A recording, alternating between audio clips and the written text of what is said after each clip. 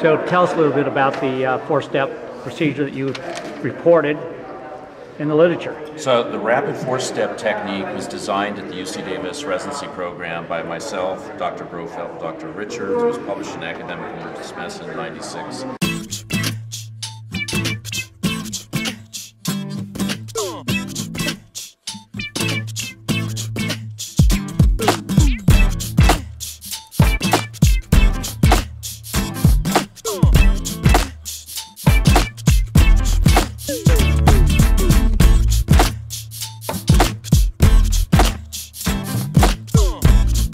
One of the things I want to emphasize with the rapid four-step technique, that when you're standing on the patient's left and you got that tracheal hook there, you're lifting with your left hand and putting the tube in with your right, just like intubating with the blade.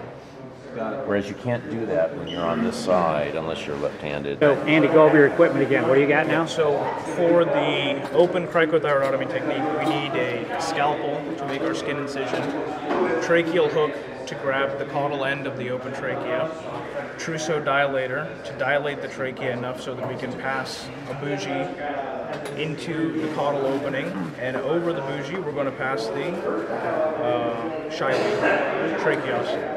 Okay.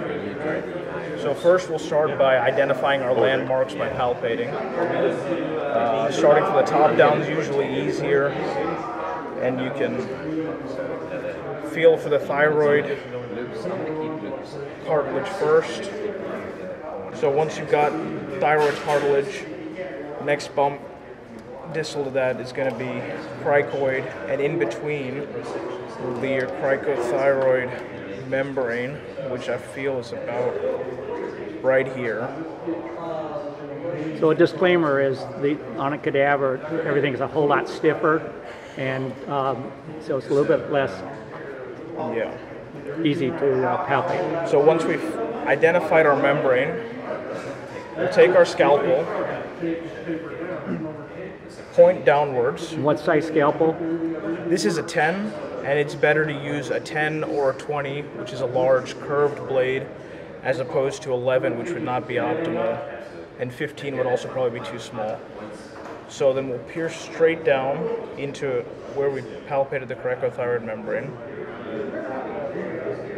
And I've lost resistance there, so I'm pretty sure that I'm in the I would make it somewhat larger in this cadaver just because you, can't really dilate the tissue as effectively. Yeah. So we've got then we, with the knife in place, we'll take our tracheal hook, slide it along, and grab up on the trachea. You're confident you have all of those tissues? Yeah, I can think from the inside of the trachea up to the skin. Okay. Yep. You got it then. slide the knife out, get our trousseau dilator, put it inside, dilate up, make our opening a little bit bigger. So your tracheal hook is going caudal. It's not Caudal. The, the tip Which is is curved. the opposite of the the, tip is standard curved this teaching way. technique right here. where you grab the upper part and put in, but then you can dissect into subcu tissues there, and people do that, and then they bag, and the whole neck blows up like a Michelin man, and you lose all your anatomic landmarks. So now we've dilated and we can see our opening really well. We'll go ahead and pass our bougie in. Sorry. camera's taking a beat. And then with the bougie in place, we'll take our Shiley, Probably move, take your hook out at that pass point. it. Yeah. Yeah, so we can go ahead and remove our hook. Once you're confident the bougie is Yeah, because the literally in. bougie passed clearly and easily. So probably in the trachea. Definitely. Definitely in the Nothing trachea. else that will do that. That Confidence right here. there. Hey, Voila. excellent. And then we'll That take was a slick man- maneuver. Yeah, now